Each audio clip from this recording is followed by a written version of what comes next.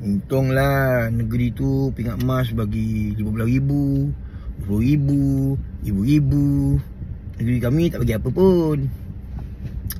Macam inilah Untuk manusia ni bergerak Kadang bukan sebab nombor tu Berapa ribu, berapa ribu tu.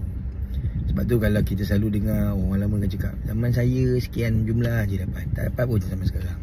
Tapi kita orang boleh je main. Itu juga satu perbandingan yang tak adil Sebab keadaan tak sama. Tapi yang paling penting sebenarnya Bila kita faham Dalam bersukan ni Kita jadi atlet yang bagus Dia bukan hanya tentang reward tu Bukan hanya tentang berapa banyak kita dapat.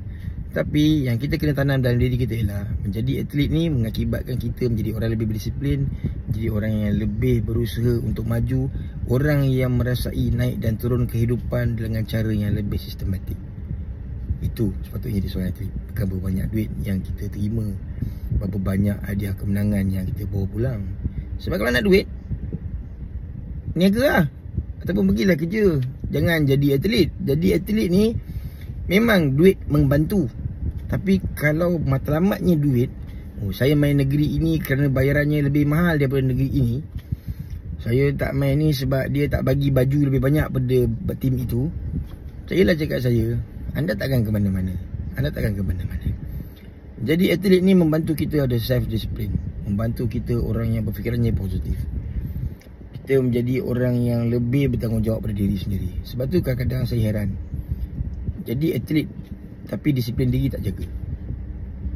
Tak jaga kesihatan dengan bagus. Masih mengamalkan gaya hidup yang tak sihat.